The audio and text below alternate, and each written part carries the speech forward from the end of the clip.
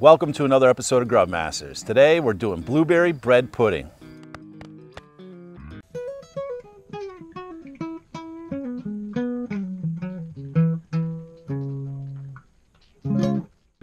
Johnny, tell me a little bit about your bread pudding. What do you do here? You know, Chris, I love bread pudding.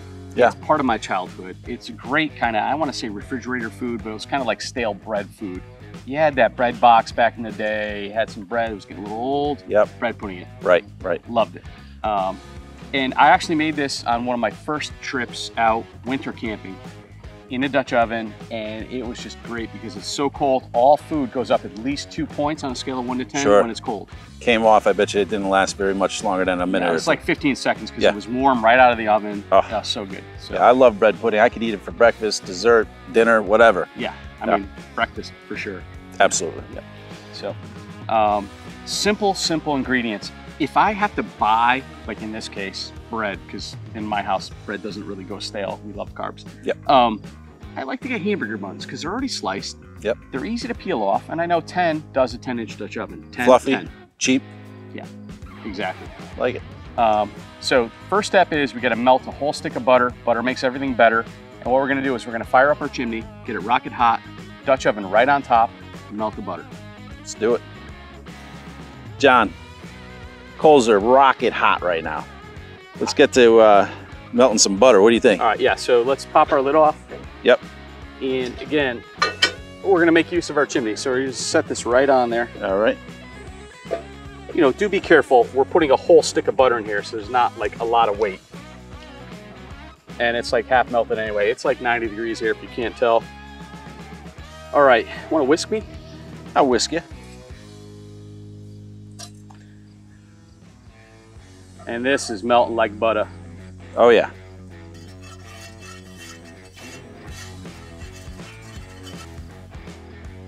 And in 90 degree weather, just like that, our butter's melted. Yeah, that took All all about 15 seconds. Right, so, okay. Um, we're gonna set this down. All right. And we're gonna attempt to build this all in one pot. We may fail, but we're gonna try to do it because it's less, less clean. This is happening, John. All right, so um, cup and a half of sugar, hit me.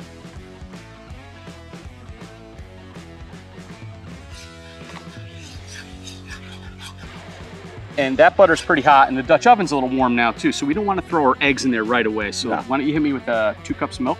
You throw the eggs in right now, you're going to make scrambled eggs. Not going to have uh, very good bread pudding after that. All right, why don't you hit me with a smackadaddle of uh, vanilla? Smack it, that'll do you. Probably a triple smackadaddle. But I like vanilla. You like vanilla? Yeah, we all like vanilla. All right, so this is largely all of our wet. Um, all right, three cracked eggs, Three cracked eggs. and we're gonna whisk them in.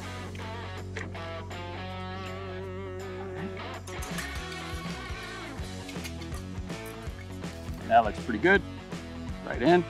Whisk quickly. Beautiful. Yeah. All right. Um, let's season it now. All right. Yeah. So what we're gonna want to do is we're gonna put a pretty healthy dose of cinnamon in there. That's great. And now a little bit of nutmeg.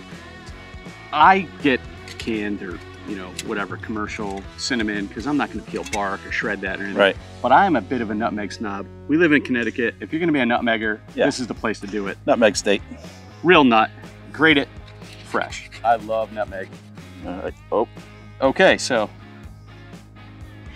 luckily the nuts float. That was the perfect amount of nutmeg. Thank you, sir. All right, so our hamburger patties, they're already split, right? They're already nice, light, fluffy bread. All we're gonna do is we're gonna start tearing them off and dropping them in. That's so uh, why don't you join the party and let's get these 10 patty, uh, 10 buns into the sauce. all right.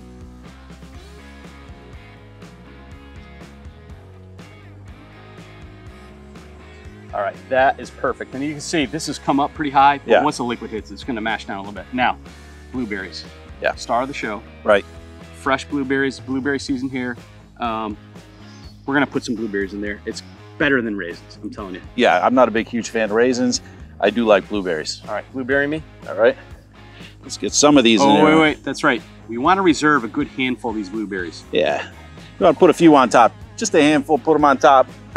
Makes for a nice presentation, purs- purposes there. Absolutely. All right, so now we're gonna mix this up, get it all wet, thoroughly incorporated, and then we're gonna throw the spurs to it heat-wise. Let's do it. All right, can I have the spatula? You may. mixer.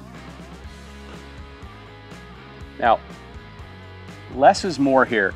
You don't want to turn this into mush. You want to kind of fold it in the best you can, have that liquid incorporate without just absolutely turning into like a mashed potato consistency. Right. You want to get the bread wet, but you don't want to break it down per se.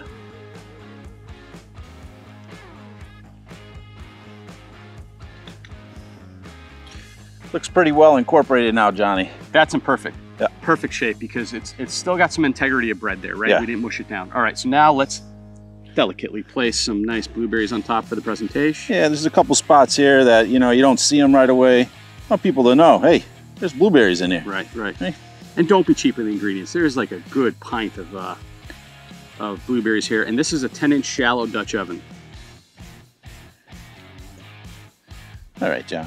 What do you think? That is beautiful. All right, good. let's lit her up, and let's get some uh, top coals on there. And we're going to use the ring method as we always do when we bake. So we're going to have a nice ring of coals on the bottom, a ring of coals on the top. We're to maintain that Right. for about an hour.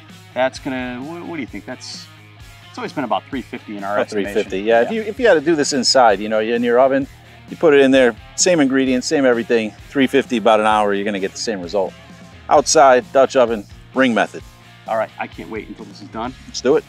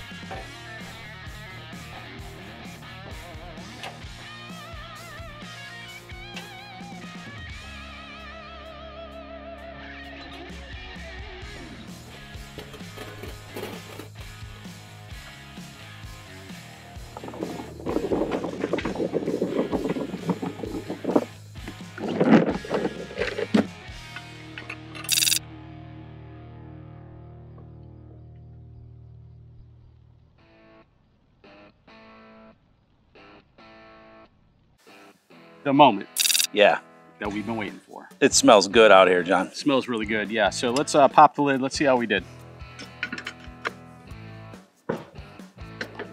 And actually, Chris, let's get this right off the heat so that we don't do any more cooking. Right. Oh yeah. Now you want this to be just a little bit wet. You don't want it to be dense like a cake, right? No, so, no, right. Um, and I see a little jiggle there, but I think that is just the right amount of jiggle. Oh yeah, it's set up nice. All right, let's dig in, man. I like it.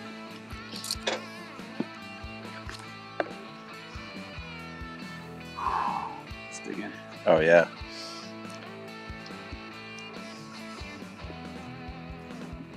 Oh yeah, blueberry right through. Mm. Love it. The cinnamon.